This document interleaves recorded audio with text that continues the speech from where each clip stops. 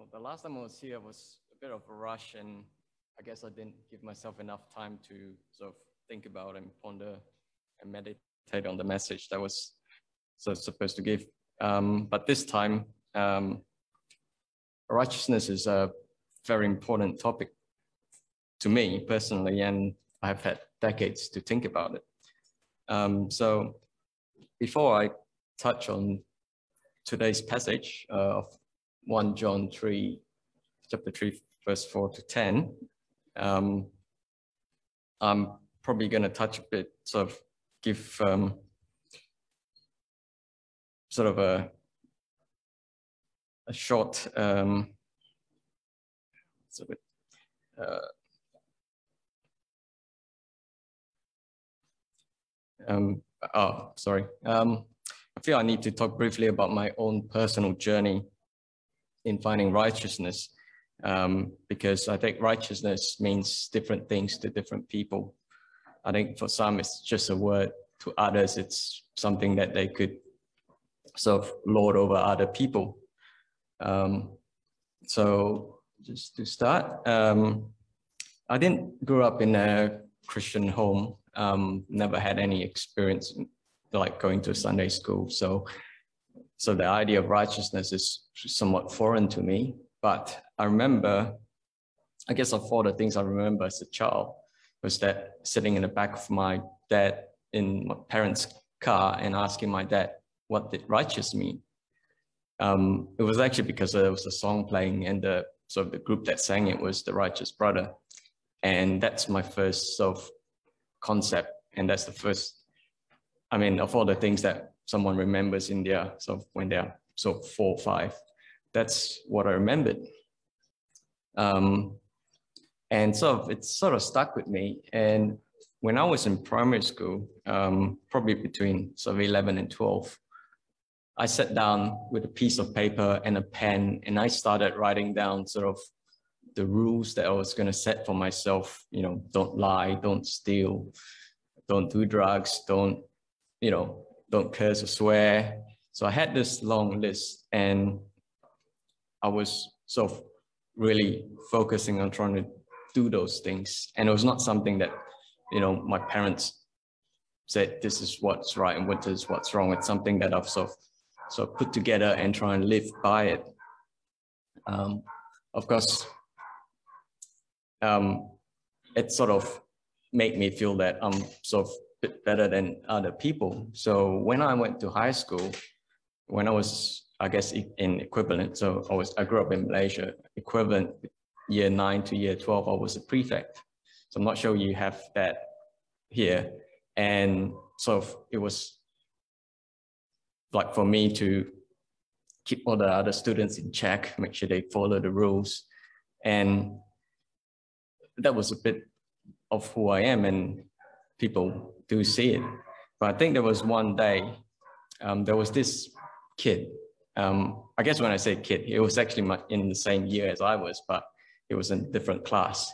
And he happened to form his own little gang of little thugs in school. And it was just after recess, the bell has rung and I'm trying to get all the kids back to class. And him with his gang was sort of trying to drag their feet, not going to class. And they sort of end up um, at the water cooler and he was trying to get a drink just to try and bid his time. And I was trying to say, no, just go to class. And there was a bit of push, a bit of shove, and then he sort of fell back, and which is quite dramatic, which I thought that was a bit odd. It's probably his experience playing soccer. And then he got up and looked straight in my face and I'll see you outside after school. And he walked off and I was like, that escalated rather quickly. And so I didn't tell anyone. I was just sort of mulling over what am I supposed to do there. And sure enough, after school, as I was walking home, so back then I walked to and from school, and he's seen me before, so he knows which path I take. So sure enough, he was waiting for me with his rest of his gang.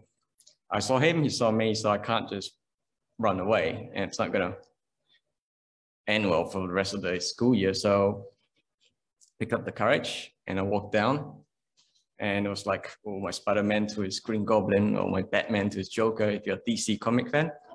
Um, and I faced him and I looked straight at him. I reached out my hand and I apologized. And he stood back a bit and he shook my hand and we walked, um, we parted ways. So I guess you were thinking that was a rather anticlimactic story. But I think for me, that day, um, I learned humility, I gained a little bit of wisdom, and I got home without a scratch. So, and I think after that, I still see him in school. Um, and it's sort of, we sort of give each other a little subtle nod. And I like to think that that was a sort of sign of a mutual respect. So I've had, I don't give him any trouble. And I learned not to go beyond what is reasonable. And I think I've learned that righteousness is a personal thing. It's something you set for yourself and not something you demand of others because they might not have the, the same idea of what's right and wrong. So I think it sort of shaped my personality of not trying to tell people they're wrong and sort of opposite to say nowadays, you know, activists, vegans that is telling people they should stop eating meat or they're murderers. I, you know, it's sort of opposite to my personality. Um, I guess a few years later, I was in Adelaide, my first year of university, and it was sort of the time that I first was first introduced to Christianity, to the gospel. And um, I started to learn about Jesus Christ and his righteousness. And it was something that sort of appealed to me. It's like, you know, if he was righteous, what can I do to be like him? And so, you know, a few months later, we're going to church and reading the Bible. Um, someone then pointed to me to um, Isaiah um, chapter 64, verse 6, um, something that's often quoted. Our righteousness are like filthy rags. And I think sometimes it's sort of quoted way too casually, but for me, that, that stood out, that passage stood out. And it was that, that moment in time that I realized that everything I had tried to do was nothing. And that with Jesus Christ, there is no way possible that I could turn this into this. And and that's a big big thing for me because righteousness was something that I hold on to quite strongly and realizing that what I have done, what I've made for the last decade was not doesn't make me acceptable to God and I can't do anything to make it look like this. So a few months later, I've decided to accept Jesus Christ as my Lord and Savior. And I think for most of us, we remember getting on our knees and said the sinner's prayer to repent of sins. And um, I think for most people, they're probably thinking about maybe the sins they've committed, um, any sinful habits that they had, and they promise to God they're going to give it up, whether it's too much TV or drinking too much or swearing. I think for me, the most defining moment, the thing that I gave up most that day when I accepted Jesus Christ as my Lord and Savior was my righteousness. Because I know that by his promise, I have this in exchange for what I have given up.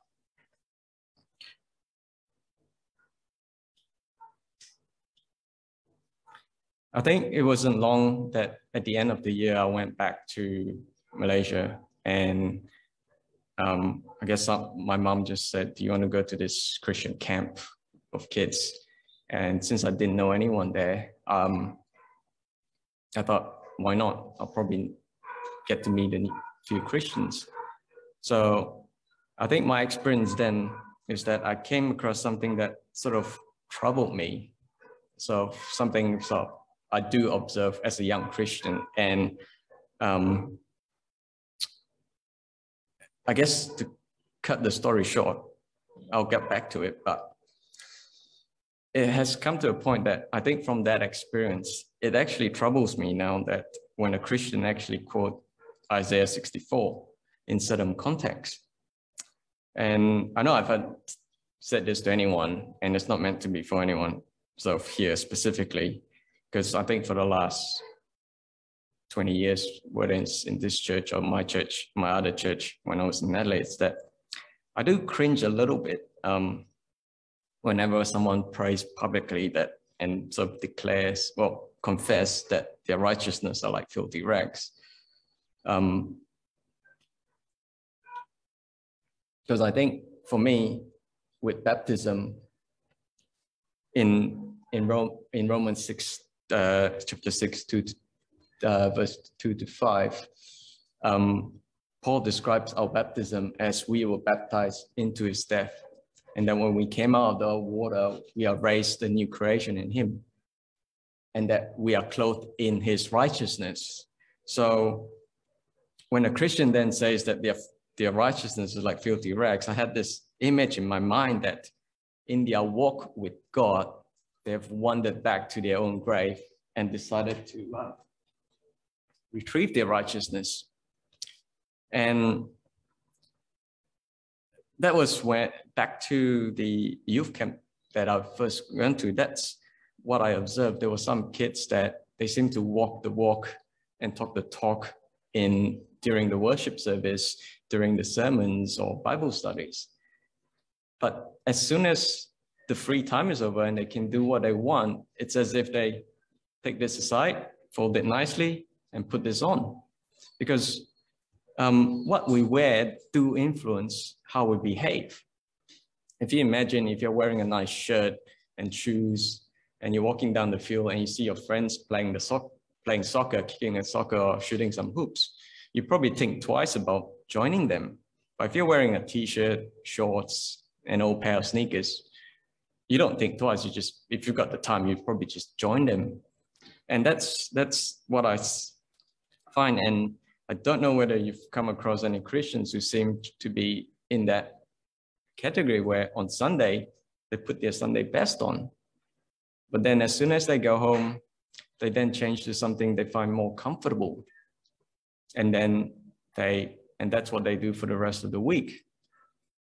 And, you know, returning the next Sunday, they put this off, put this back on, and they pray, forgive me, Lord, for I've sinned. Um, wash me in your blood, there might be white snow.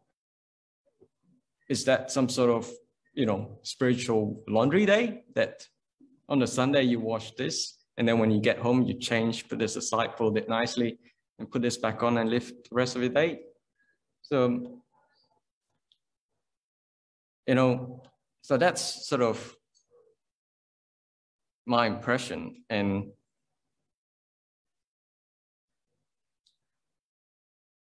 So get back to this. And then, so we'll come to today's passage. Um, whoever commits sin also commits lawlessness, and sin is lawlessness. And you know that he, you know that he was manifest to take away our sins, and in him there is no sin. Whoever abides in him does not sin. Whoever sins neither see him nor know him. Little children, let no one deceive you. He who practices righteousness is righteous, just as he is righteous. He who sins is of the devil, for the devil has sinned from the beginning. For this purpose, the Son of God was manifest, that he might destroy the work of the devil. Whoever has been born of God does not sin, for his seed remains in him, and he cannot sin, because he has been born of God. And this the children of God and the children of the devil are manifest. Whoever does not practice righteousness is not of God, and whoever does not, uh, who, nor he, nor is he who does not love his brother. So I think in Philippians um, chapter 3, verse 9, um, as Paul described, if man's righteousness is of the law, then I suppose lawlessness is the little holes that we in in their garment. And sin is like the dirt if you're sort of rolling in the mud. Sin is the dirt that's on the cloth, and if you've got holes, it's on your body. and you can't tell the difference. Um, sure, I think some Christians, we do trip and fall sometimes, but we get up again straight away. We turn to God, we brush off the dirt that we've got in us. But those, but there are those who having this on, they don't mind. They will be rolling in the dirt. And that's the difference. If we have this on all the time, as opposed to having a different, you know, wearing this for most of the time and only wearing this some of the time, then the decisions we make, the things that we do is different.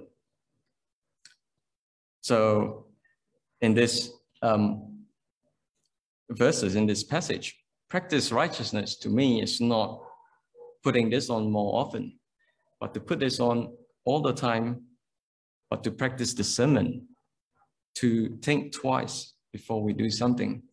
Is it right? Is it acceptable to God?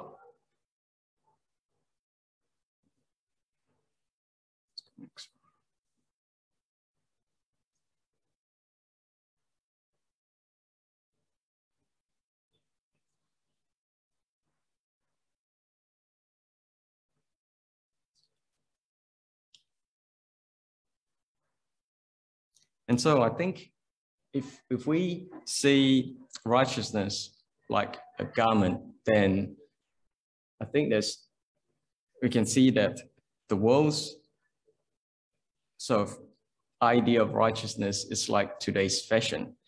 It seems to change very often. And more often than not, we see less and less materials, removing materials, and even now you can buy distressed jeans, like jeans that are purposely sort of worn down and you can buy them, which cost more than the actual clean pair of jeans. And that's the thing with, with sort of society now is that because they're used to that and it's slowly sort of being worn down. Um, if we say, look at fornication, it's an old term. It's no longer applies. the sort of Rip this bit out. What about abortion? Rip that bit out. What about assisted dying? Rip that bit out and it's just full of holes. And what about legalizing recreational drugs? Well, I see it as not so much as ripping bits off, but pulling on threads because as they start pulling, more bits actually fall out. And if we met, if you think that if you're legalizing, that's not a problem, imagine if politicians are making laws and changing laws while they're under the influence, or they are being influenced by whoever's giving them drugs to do certain things of changing laws. So that's now, and I think, oh, go next. So I guess I probably need to sort of cover this. I would like to go to um, so speak quickly about Matthew chapter 22, verse 1 to 14, the parable of the wedding feast. Or, well, similarly, this uh, Luke uh, chapter 14, the parable of the Great Supper. So you might think, what has it got to do with today's message? Well, I guess I could read the passage. Um, because I don't have the words now. Um, just to summarize it, a king had arranged um, a marriage for his son. But when the time came, the people who were invited decided they didn't want to come.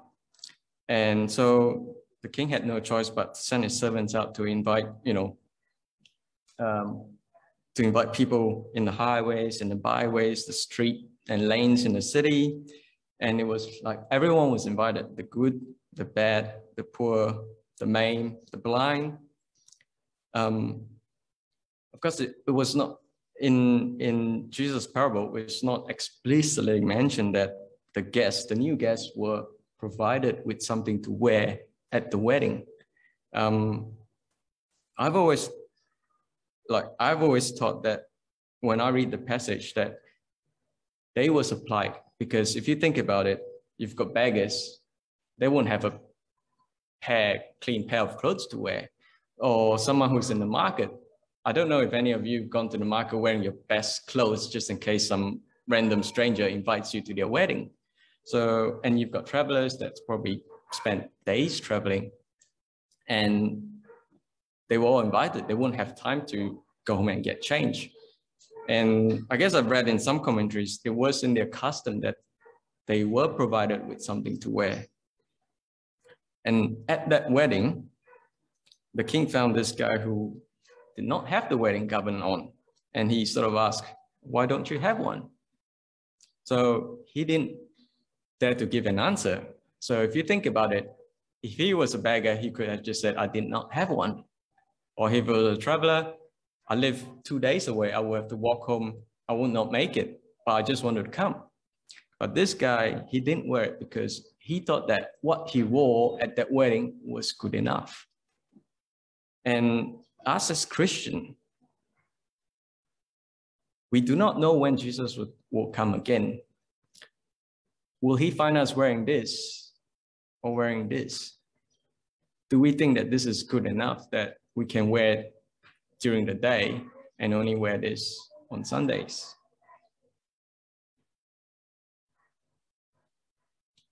So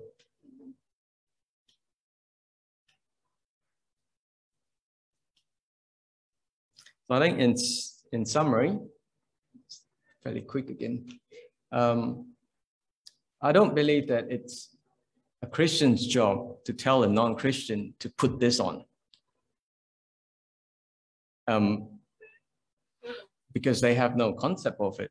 And I think it would look bad if that non-Christian comes to us and say, I've met Christians that seems to wear this on Sundays but then when they get home, they wear this for the rest of the week.